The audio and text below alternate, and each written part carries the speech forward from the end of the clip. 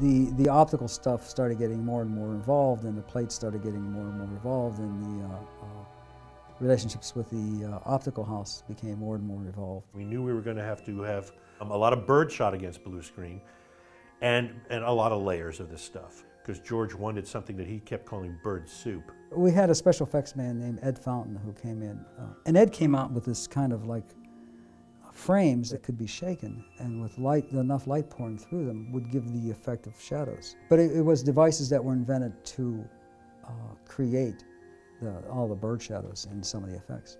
Uh, when the birds start just pecking through the woods and you just see the, the first beaks popping through, that's the hammers that they use to, to create just the first beaks.